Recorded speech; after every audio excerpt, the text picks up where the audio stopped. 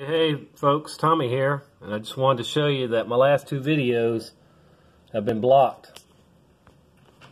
Now the one's only partially blocked, that weirder what one with the uh, Voynich manuscript script and other stuff. Uh, that one is partially blocked. You can't see it if you live in in Germany. There. And this last one I just posted yesterday on the 9/11 survival stories. Blocked. Worldwide. Totally blocked. Copyright claim. 25 views, two comments, 100% likes, you know, five, five likes on it. Yeah, and it had more than that, I think. But anyway, uh, blocked. Totally blocked. That is, that is censorship completely.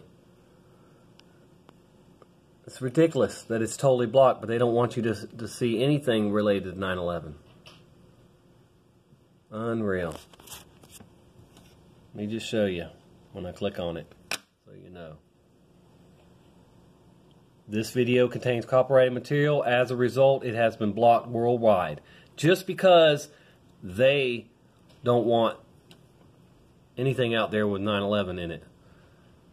And and none of it was saying that 9/11 didn't happen. Only in our chat, you know, we were casually talking about, you know, kind of bullshit that these people survived. You know, uh, what they survived. But yeah, this is ridiculous for it to be blocked worldwide. Okay, it's all just clips of stories of you know the 9/11 survivors. That's it. They'll probably block this one I uploaded telling you what happened. But that's YouTube for you. They aren't going to give up, folks. They will get all of us truthers truthers off of there, off off of their platform. They hate the truth, and they hate us for loving and spreading the truth. It's as simple as that, folks. Tommy here, Tommy out. I hope you have a blessed day and weekend. Wonderful weekend. All right. Talk to y'all soon. Thanks.